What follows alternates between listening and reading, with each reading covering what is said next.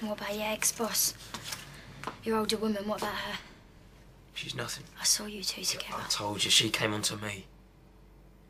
She's like some perv. I'm not interested in her. And Claire, you're not interested in her either? No, she's not for me, no. She knocked you back. I knocked her back.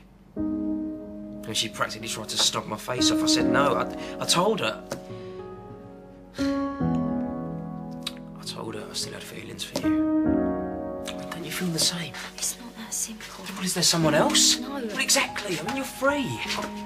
We both like each other. What's to stop us trying again? What have we got to lose? This?